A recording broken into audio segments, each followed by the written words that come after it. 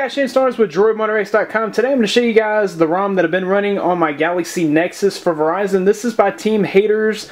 Uh, the lead developer is Sparky Man, but he wanted to make sure that I did give credit to the entire team because he's had a lot of help in building this ROM. Now this ROM is called Dream Killer, and we'll head into the settings real quick and see what version we're working with. This is version 4.2.1, so this is the latest version of Android. It's totally built from source. Uh, you see that it does include the Trinity kernel. Now, I did speak with Sparky Man, and he let me know that he's working on performance settings. So we go into settings, and we come all the way down. We don't see any performance settings, but it does include that Trinity kernel, so you can overclock. Now, you can use a application like SetCPU or No Frills CPU as a free uh, CPU controller application. Uh, you can overclock it all the way to 1.6. I did some testing at 1.6 gigahertz and it got a little buggy on me. So it did freeze up and I had to reboot my phone at 1.6. 1.4 seems to be really stable. 1.2 is plenty fast. So there's really no reason to overclock anyhow. All you're going to do is drain your battery even faster when you overclock. Um, and it's just fine at 1.2 gigahertz.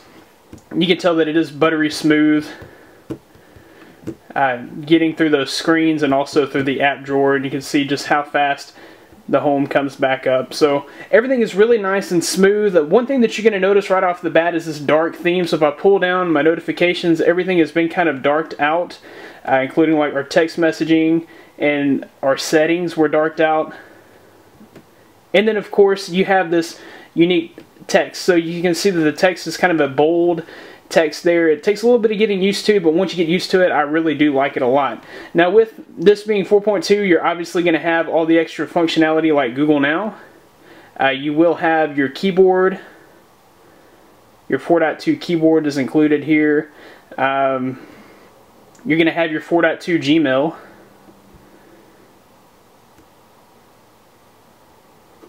And you're going to have your quick settings. Now one cool thing about the quick settings is he's included in his settings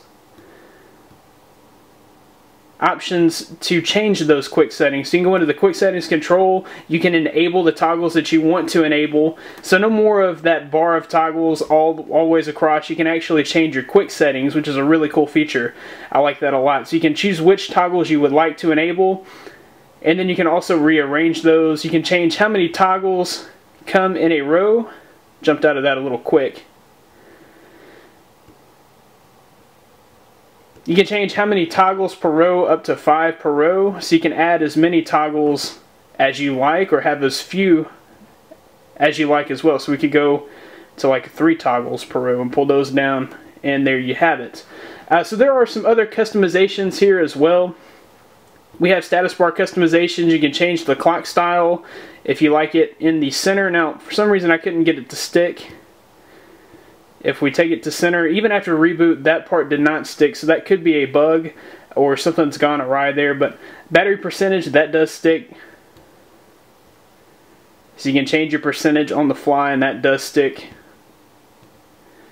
Signal status, you can show the notification count uh, for your email that one may require a reboot as well. The power menu, that's whenever you press and hold the power button. Uh, this menu can be customized with a full reboot menu and then your navigation bar can also be customized. I have it set up like my Galaxy S3 just because that's what I have become familiar with, but you would just press navigation bar button and then you would unlock it and then you can modify those uh, like so.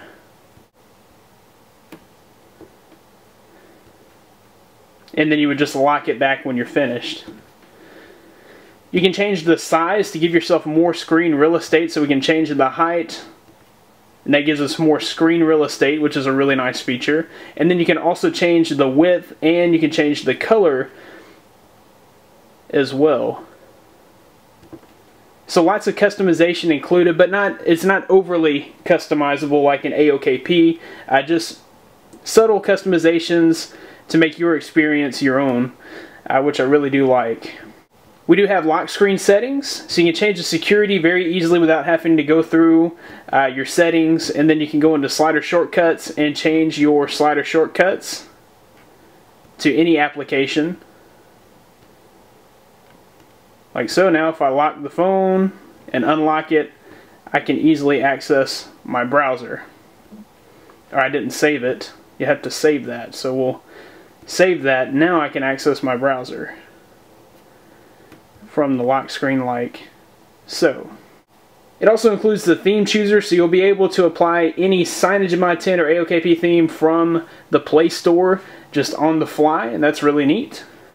So other than that, he's done all sorts of memory tweaks, and he's done some build dot prop tweaks, and all sorts of different tweaks and mods to improve the overall performance of this ROM. You're going to see improved battery life, and you're going to see improved speed and snappiness with the ROM, as you can see when we fly through the screens. One other thing that he has included here is the DSP manager and there's I forgot to mention that we do have 4.2 camera uh, we also have a custom boot animation which is pretty cool so what we'll do right now is I'll go ahead and show you guys how to install this ROM and then uh, we'll reboot the phone you guys can see the custom boot animation at the end so we'll go ahead and reboot into recovery now with this ROM, the G-apps are included, so you don't have to worry about going elsewhere to find G-apps. They're all included in the ROM, which makes things nice and easy for flashing. So if you guys have installed a ROM before, then you know what to do. We're just going to wipe, factory reset, swipe to wipe, cache, swipe to wipe, Dalvik cache, swipe to wipe. Then we're gonna, going to install, and we're looking for Team Haters. The latest build was 1219, so we'll go ahead and select that. Make sure that's what you're flashing, then swipe to flash when you're finished you're going to reboot system. So I'll leave you guys with the custom boot animation. This has been Dream Killer by Team Haters. Uh, for more information on me, you can check out droidmodderx.com where I'll have the latest in Android and tech news. Be sure to follow me on Twitter at droidmodderx. I'll announce any giveaways that are coming up, plus everything that's going on with this channel.